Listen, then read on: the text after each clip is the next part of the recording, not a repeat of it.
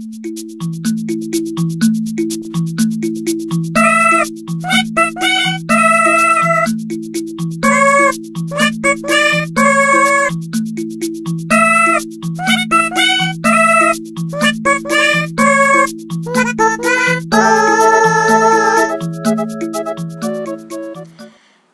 guys, so this is the latest in my game inspired looks and it's Yoshi, um, if you couldn't tell by the beginning intro. Um, it's very green, it's got a bit of red, bit of gold and nude lips um, and stay tuned and you'll see how I did it. So I've already primed my eyes with Urban Decay Primer Potion and I'm going to put on some Kryolan. It's the aqua colour and it's in UV green and I'm going to get a brush, obviously wet because you can't use Kryolan dry, and I'm going to get that brush there, it's I think by Ruby and Millie, which you can get in Boots. I'm just going to get that wet. And that's going to go all over the eyelid apart from in the inner corner. It's not going underneath because um, the underneath isn't going to be green. So I'm just going to pat that on. it's too dry.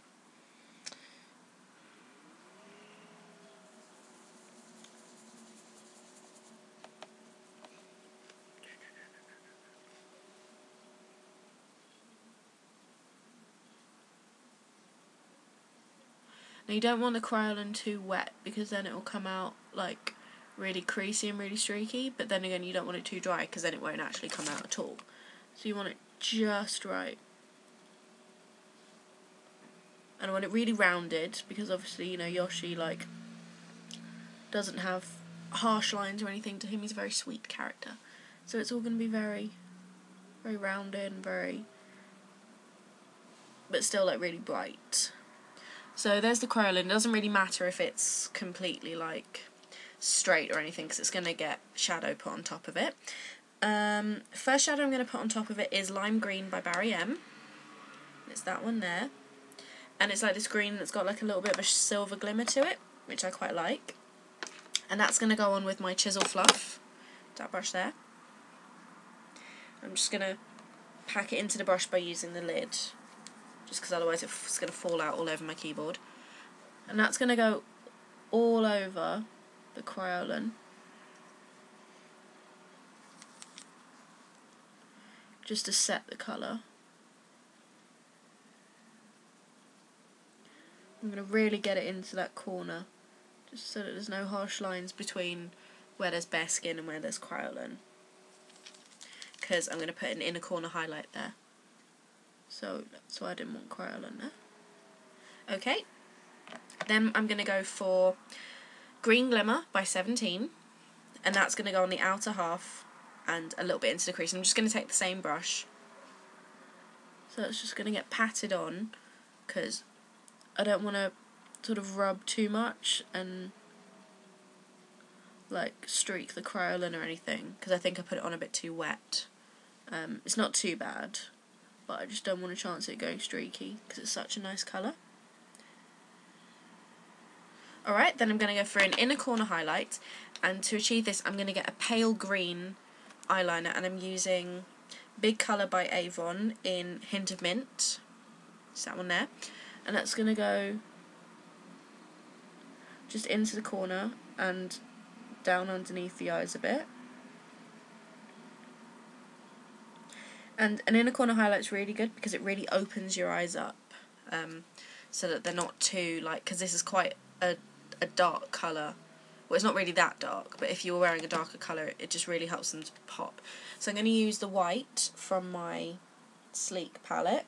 And this is the Sleek Acid palette. I'm going to be doing a review in a minute because I bought it today and I absolutely love it.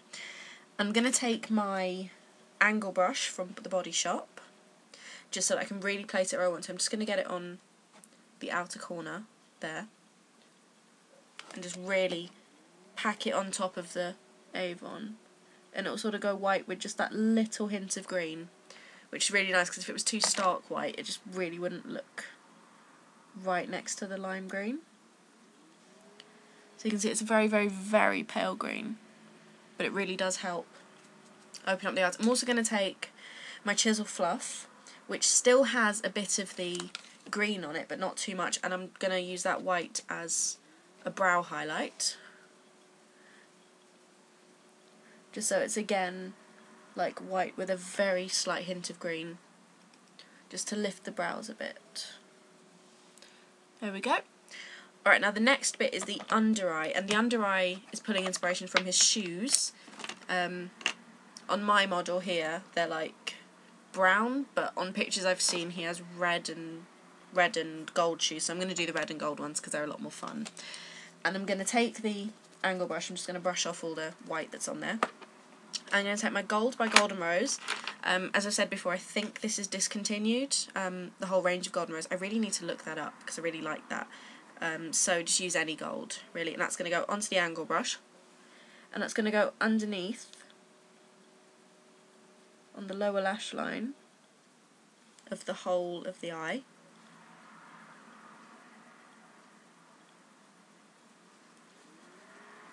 And I really, really want that bright goldeny sort of colour.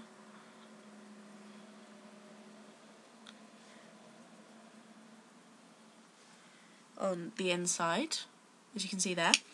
Then I'm going to take my Deep Red by Stargazer, which is this gorgeous colour there. And that's going to go not too much underneath, but just sort of, I'm going to take it into the first half and then blend it in. Because if you take it all the way around, it just looks like you've been crying which is not really the look I'm going for. I'm just going to pat that on. And I'm doing it bit by bit because if you get a bit of red on your foundation, it's basically gone. You have to redo your foundation. So you can see there, it does actually look like I've been crying. Um, so I'm going to blend that out with some golds. And this is, I don't, I, I think it's by Obala. I'm not sure. I got it in a big set off of eBay.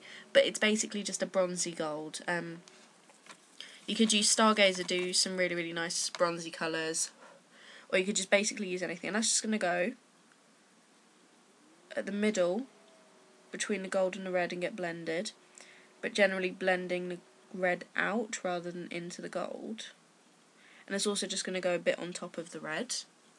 And then the red's going to get blended into the green with a small brush. I'm going to take which brush to use. I'm going to take my fluffy one. Just going to get rid of all the white on there. And I'm going to take a bit of Max Swimming. Is that one there?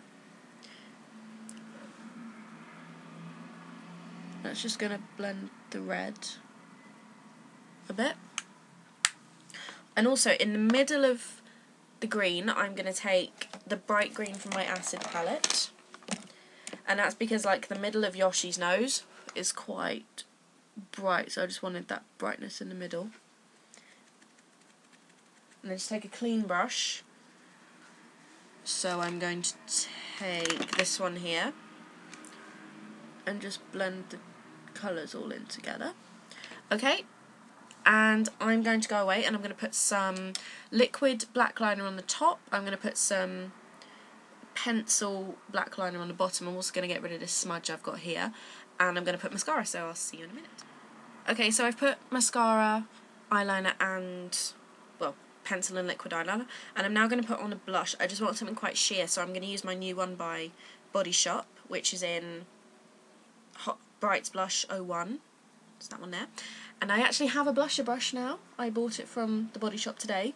Um, it was really good. It cost me, I think it's normally £12, but they had 20% off makeup, and also I've got a 10% off thing. So I bought that and some other stuff, but I'll talk about that in a minute when I do my acid eyeliner review, eyeshadow review, and I'm going to put on a nude lip colour, so I'm going to get my lip liner, which is by Laura Geller, and that's just going to go on the outside of my lips. Okay, so I've done my lips, and I had the Laura Geller liner on the outside, then I put Dare to Bare, which is by 17, that one on the inside, um, on the lips, and um, that's it. So I hope you enjoyed it and more looks coming up soon. Bye.